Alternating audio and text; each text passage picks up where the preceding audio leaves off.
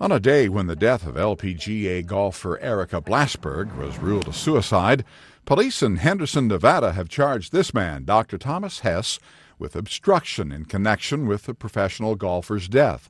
Hess turned himself into police Tuesday, and he was released after posting a little less than $650 in bail. Authorities say Dr. Hess discovered Blasberg's body inside her home shortly after she committed suicide and then removed items.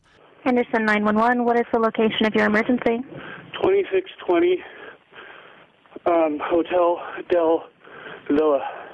What's going on there? I need to report a suicide. Okay, tell me exactly what happened. I came by to check on her last night, um, and uh, and you know she had a couple of drinks, um, was sad. Um, I came by to check on her now, uh, and she's dead. How did she kill herself? Uh, she put it back on her head.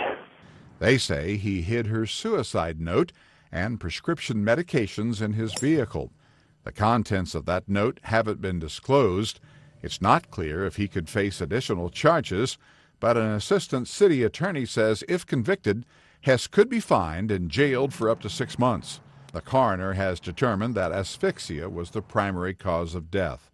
But the coroner also says the 25 year old had toxic levels of prescription medication in her system, including drugs to fight pain and anxiety. Ross Simpson, The Associated Press.